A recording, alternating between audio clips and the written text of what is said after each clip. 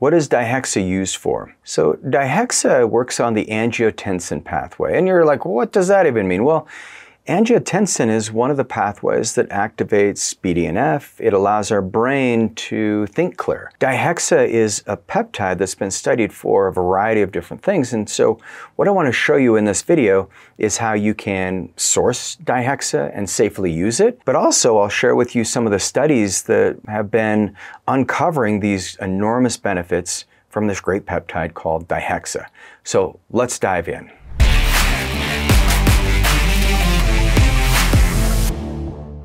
One of the first reasons why dihexa was studied, there was some researchers who were looking for treatments for Parkinson's disease. And they found that one of the issues with Parkinson's is the lack of dopamine. And so this dopamine deficiency causes a lot of neurological symptoms, such as low mood, the eyes start to get like really kind of heavy and saggy, the facial expression starts to change, and then tremors can result. And so when they started looking at dihexa, they found that there was actually some benefits when they looked at the mechanism of action. They found that not only did dihexa um, activate this dopamine response, but they found that it had some neuroprotective properties. And with Parkinson's disease, one of the things that we've noticed is that there are different infections that can influence it. There may be heavy metal toxicity. There may be something in the autonomic nervous system. So one of the tests that we have ran for patients who are looking for natural ways to support their body who have this disease is we run this neurocheck. And so we look at the electrical activity in the brain. And by looking at the amount of brain wave volume, so we look at the delta waves, we look at the gamma waves, your higher level of learning. Delta, if it's expressed when you're awake, what that means is you're not getting good sleep. And a lot of our patients who have neurological issues or even cognitive issues, their delta waves are higher in the daytime than where you'd want them to be, even their theta. So theta is the brain waves when you're just waking up or when you're in more of a REM sleep state where you're dreaming.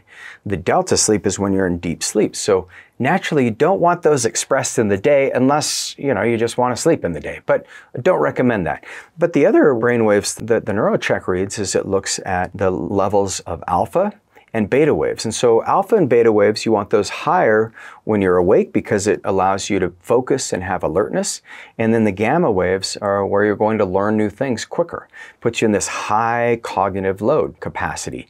And so as we ran his tests, we realized his brain was in a complete deficit. And we see that not only in people who have Parkinson's disease, but we actually see that in executives. We see it in our entrepreneurial community. In fact, we just ran 100 of these scans, and of those 100 scans, there was only five people who had adequate levels of brain waves and healthy circulation in the brain when it comes to the electrical circuitry. And the majority of these individuals, they were burned out. They weren't sleeping great. They stayed up too late. They were stressing too much. And I know how hard it is to build a business. So I'm not saying just like get over it, just relax more. But the problem is they were not recovering. And every system in our body, it has the gas pedal and the brake. And too many of you entrepreneurs, you're pushing on the gas pedal too often and you don't have enough of relax and recovery mode. Now, this is interesting because what dihexa does is it creates more resilience from a neurological perspective. You can recover more from working on complex problems. Maybe if you're an engineer and we work with a lot of computer engineers or software developers and you're working through these very complex problems. And what we've seen is that just by adding in some isochronic or binaural beats, just a few times a day, that starts to change that neurological expression. Your brain waves actually start to balance. We also find that by using about 20 to 30 milligrams of dihexa, and you want to use that five days out of the week on your focus days when you're working, people were able to gain more focus. They had more cognitive clarity. And they also found that they weren't just completely wasted at the end of the day. They could actually go home and have a conversation with their wife and they could play with their kids. They could go for a walk with the dogs. They had energy that they could utilize to go exercise. So why dihexa? Well, Dihexa works on the angiotensin pathway. Nicotine is really popular right now. A lot of people are talking about it, and nicotine works on that same pathway. The difference between dihexa and nicotine is dihexa doesn't have that same stimulatory property that nicotine does. Therefore, it's not addictive. You don't form habits or dependency on dihexa. Even in the studies, what they found is that people who had lower levels of expression of dopamine, even patients who have been diagnosed with Parkinson's, they found that it changed their mood. It didn't do anything for the tremors, but it actually changed their mood and they felt more balanced. They felt better coordination. And it was a big game changer for them. So here's what some of the studies show. This research was published in Brain Sciences in 2021, and they found that investigating dihexa, which is an angiotensin 4 analog, they looked at it for cognitive impairment and they found that it enhances synaptic connectivity, so it creates better neurotransmitter synapses in the brain. They also found it improved cognitive performance. It also helped with people who were experiencing what's called mild cognitive decline. They also found that it, it worked by forming new connections in the brain so new neural connections, so helps with crucial learning and memory consolidation. And another study, what they found is they were looking at it for Alzheimer's disease. They wondered if this peptide could work.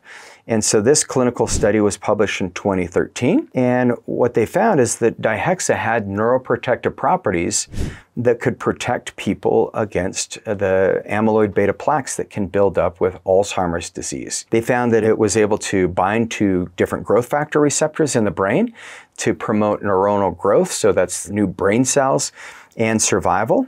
And then it counteracted some of the neuronal loss that's been observed in neurodegenerative conditions. They also found that dihexa had the ability to cross through the blood brain barrier and stimulate neurogenesis.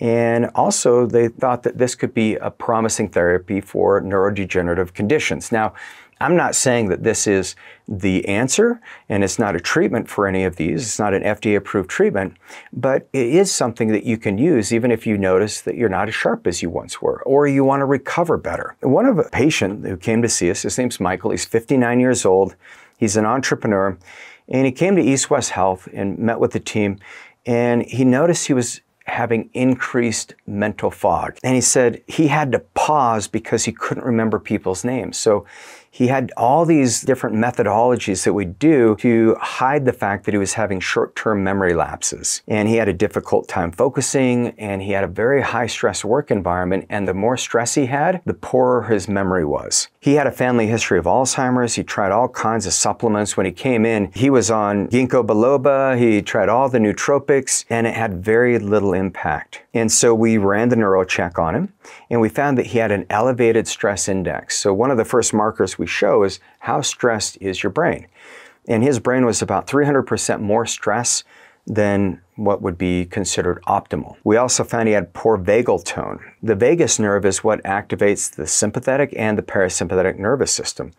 When you're sympathetic dominant, when you're always in that fight or flight mode, then you have poor vagal tone. And that was his case. The central nervous system vital signs showed that he had reduced scores in verbal processing.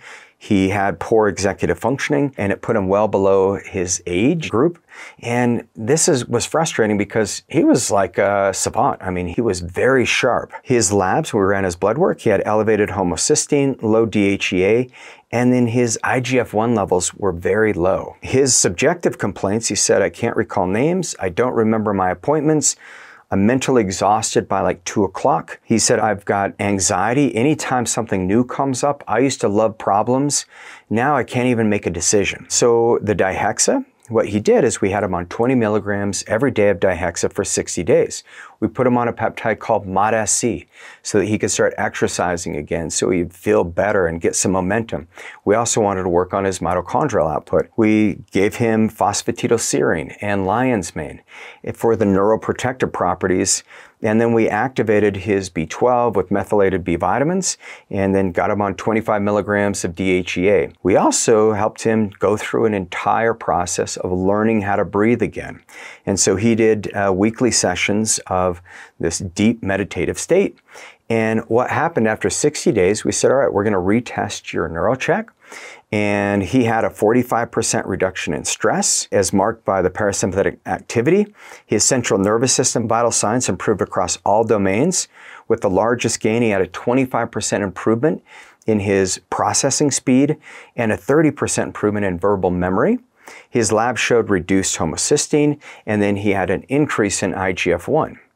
And what he reported was crystal clear focus. He said, I'm feeling like my old self again. He could work very intensely and then he could relax. And he hadn't relaxed in over a decade. He had increased creativity and he didn't have that drop in cognitive fatigue midday. His colleagues even noticed that he's got renewed sharpness and he said, I feel like it's upgraded my mental operating system. So it's unique. I mean, if you think of dihexa, there's a lot of things that go on with biology, but dihexa is a, one of these peptides that I found can be very supportive if you're looking for more neurogenesis, if you want to protect your brain, and if you just want a little more sharpness. So for those of you who are really looking to go deeper in your health, you don't want to risk having cognitive decline or having any kind of issues with your brain. What you want to do is go to agelessfuture.com and then you can do a free health span assessment with our health span experts, and then they can help guide you into getting the right test. Maybe the NeuroCheck will be great to check your brain. We'll also want to look at blood labs. When we run blood labs, all of my providers are trained in functional medicine, so we go and find the cause of the cause so that when we fix things, we fix it for good. So go to agelessfuture.com, click the link that says free health span assessment, and can't wait to see the progress you make.